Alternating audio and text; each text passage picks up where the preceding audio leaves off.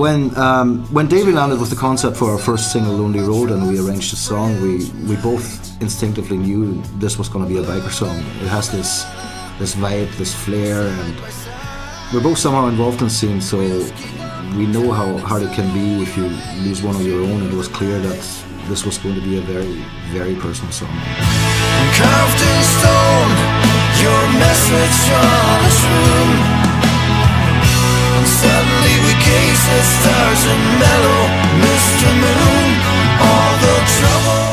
Is a very powerful song, an emotional song to play, and Rob does an amazing job on the vocals bringing the song to life. It's a dramatic song, starting off slow and building up as the song progresses.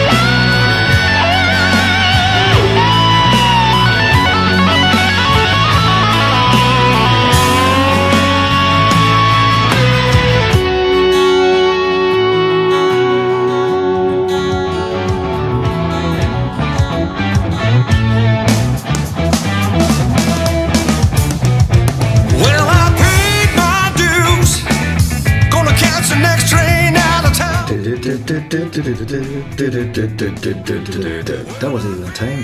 That was good. Ah, it was good, yeah. Yeah, paid my dues. Paid my dues is just a. Yeah, it's just a down and out blues song arrangement around a killer riff that Davy came up with. Um, Davy provided vocals on this particular song as well, which has a brilliant groove and guarantees to get your feet tapping. Just a just a real feel good song. I remember one time in Memphis, drank the devil's poison and fooled around.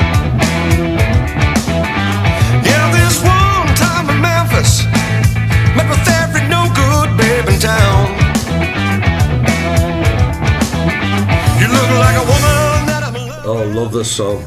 Really love this song as it kind of goes back to the roots of blues. A simple yet powerful chord structure, and it tells the story of a guy who has paid his dues, cleared his debts, and is catching the train to move on to the next town to start all over again, not having learned by his mistakes beforehand.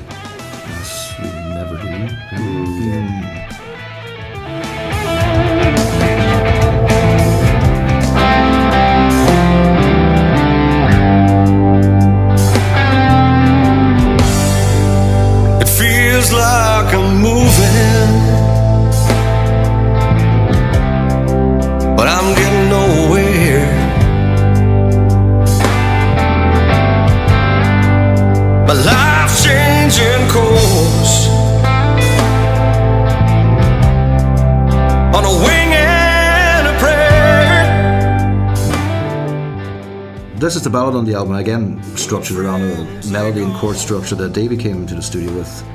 And uh, although Davy had a few verses penned, I finished off the lyrics and I, it turned out to be a very beautiful piece of music. Well, we think anyway. Yeah, no, this this was a weird one because the chords and melody just seemed to come from nowhere. I always had this idea of a slow ballad type song, but didn't realise how quick it would be to pen. Basically, the guy in the song has been through hell and back. Not literally, obviously, but emotionally to prove his love for the woman in his life. It's a love song, because every album needs to have one, and I suppose this was no exception. After all we've been through. Is it a love song? Well, it's, it's Well, is it, is it, is it really a love song? I think it's a love song. It's, it's, it's about a man clinging on to the last remnants of his love life with his woman. Yeah, but she's a bitch. As he is, I to be fair, not she is. Uh, Oh, well. oh well. I ain't got no strength left to live this life of pain.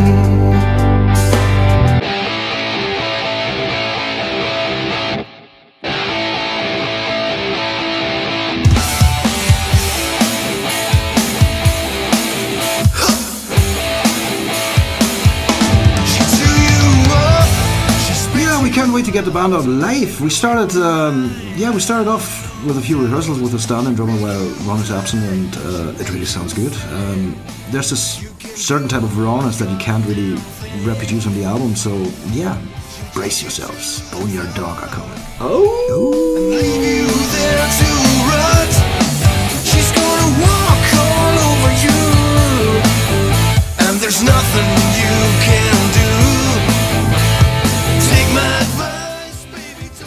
don't forget, folks, you can catch Boneyard Dog playing on the 25th of June at the Trickster's 17th annual rally. Promises to be a great night. Hope to see you all there. Yeah,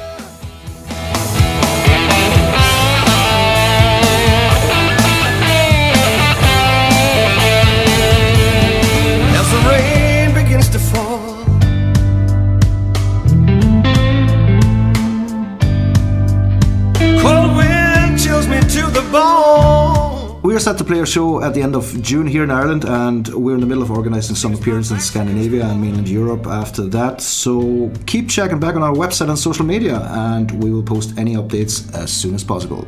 Cheerio!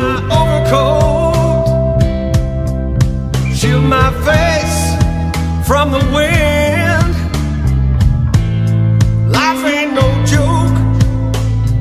ain't got a friend.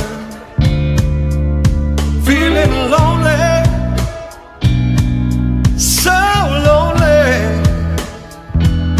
an old boneyard